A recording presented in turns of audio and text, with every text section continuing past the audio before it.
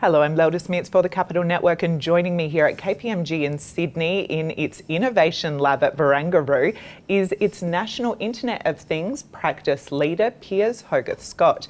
Piers, welcome. Hello.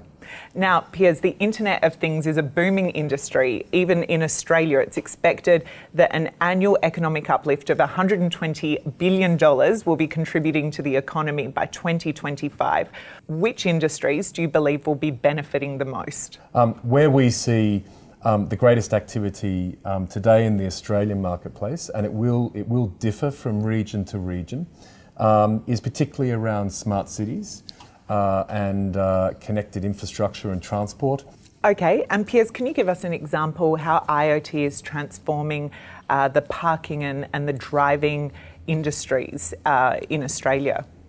Sure. So, um, already at a most basic level, uh, what we're seeing from a parking point of view, or smart parking, is the ability for you and I, as citizens, to know when a uh, when a, a, a, parking area is already full. So we won't waste our time um, trying to locate a parking spot because there are sensors underneath all of the cars um, that provide that data to a dashboard that we can access. So in doing so, that's um, uh, I guess making us more efficient and more productive. It means we're not driving around and around town. Um, uh, uh, polluting fumes and, and wasting our time in the process. So, at a sort of most basic level, that's an example of smart parking. So, Piers, which Australian cities are leading in implementing the Internet of Things? Um, City of Melbourne was globally recognised last year as one of the smartest cities um, in the world, um, and they have um, a very sizable team that is in the process of deploying um, broad smart city um, strategies, uh, which are really designed to um, I guess, uh, make the city more operationally effective.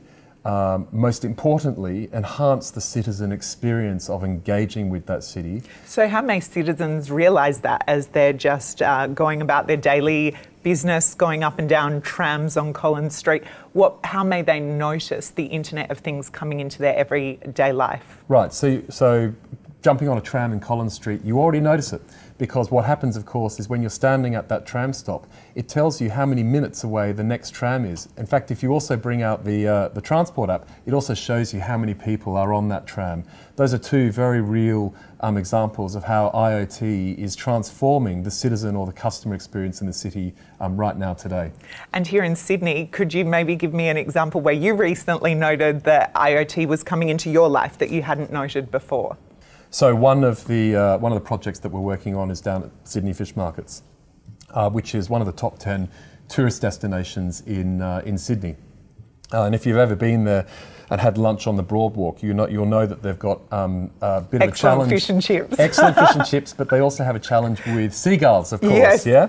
Crazy um, seagulls. Who are very keen on there. those fish and chips. Absolutely. That you, right, right. So we're working with the fish markets to use um, IoT and the, the, the LoRaWAN gateway that I'm talking about to transform the customer experience through waste management. So um, the, the current, the current um, waste management mechanism or process is that uh, uh, the, the waste people collect the rubbish on a periodical basis.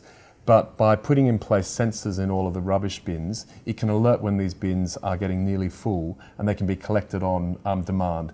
So subsequently, there's, um, there's no uh, food wastage lying around about the place, attracting the birds, less birds. You and I are happier eating our fish and chips. I must say, I don't think it's just going to be you and I that are happier. All the tourists, all of sure. the, the shopkeepers there, that's a significant change. Um, and looking into the future, what personally excites you most about the opportunity that IoT uh, presents to citizens around the world? It is the economic opportunity. You know, we, we, we started our discussion today about the tremendous multi-billion dollar, multi-trillion dollar on a global basis opportunity that IoT presents.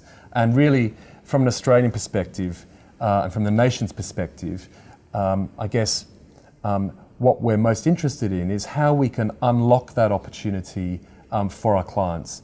That's fantastic. Thank you, Piers, for your insights today. Thank you.